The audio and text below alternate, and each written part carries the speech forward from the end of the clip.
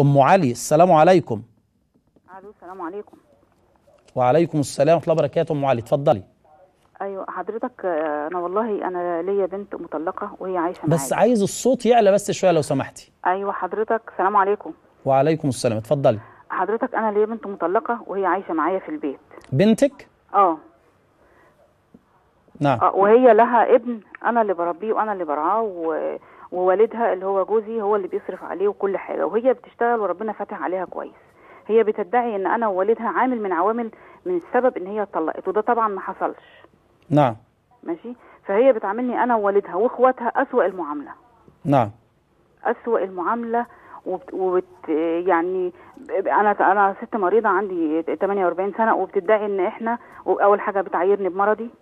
وبتدعي وبتدعينا وبتشتمني أنا وأبوها وإخواتها يعني شتايم ما... يعني ما تذكرش. طيب آه، سؤال حضرتك يا أم علي. يعني أنا عايزه عايزة أعرف. أنا طبعا عارفة عقابها من من ربنا. أنا عايزة أعرف عقابها من عقابها من ربنا وعايزة أعرف أنا أعملها إزاي. أنا اولا براعي ابنها وبعامل ابنها يمكن أكتر ما كنت براعي ولادي هم في هم في سنه. حاضر حاضر. أنا عايزة أعرف أنا أعملها إزاي وعقاب ربنا لها إيه.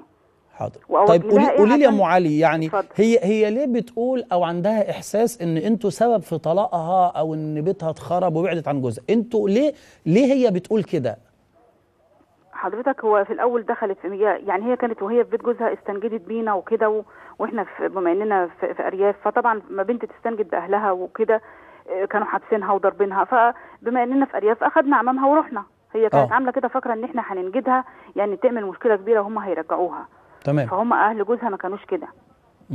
ما كانوش كده حضرتك فهم حاضر. يعني عندهم. طالما في مشاكل حصلت خلاص يبقى في انفصال. طبعا من اللي عرفناه بعدين إن هي كانت بتعاملهم وحش وما كانتش يعني كويسة معاهم.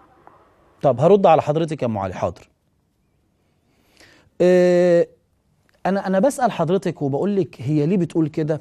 لأن دايما لما بيحصل خلافات زوجية والأسر بتتدخل أحيانا بنقول كده يا أم علي لازم على الأقل يبقى نصنا عاقل ونصنا مجنون. لو الاتنين شادين مع بعض لازم طرف من الاتنين يهدى شوية. و... وأنا دايما بقول في المشاكل دي يا جماعة بنتعامل بسياسة سيدنا معاوية رضي الله عنه.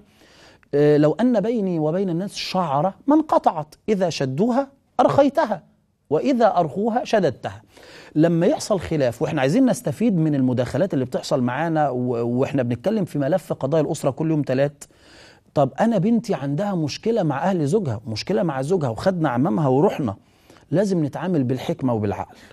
مش لازم نسيب الشيطان يتدخل بينا لغاية ما نخرب البيت ونوقع البيت. النهارده البنت بتقول لحضرتك الكلام ده ليه؟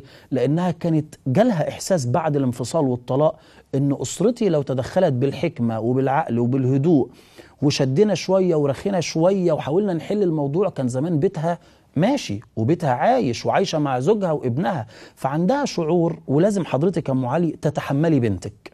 هو طبعا اللي هي بتعمله غلط وإنها تعايرك بمرضك وبتعبك وإنها ب ب يعني بتتطاول عليك وعلى أبوها ده غلط محدش يقول إن ده صح.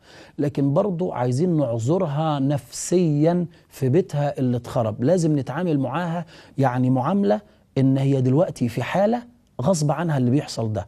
تدريجيا الأمور هتهدى وتدريجيا الدنيا هتستقر.